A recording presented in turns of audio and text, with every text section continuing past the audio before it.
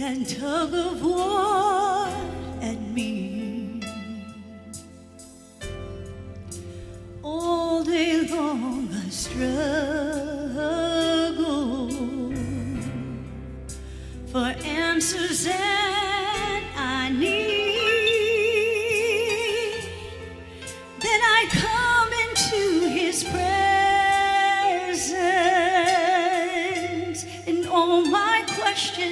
become clear.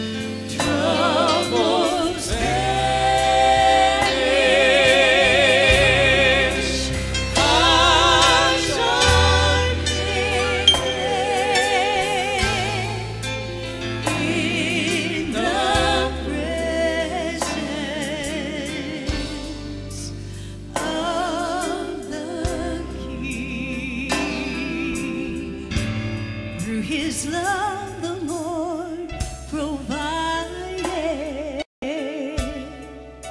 a place for us to rest, a place to find the answer.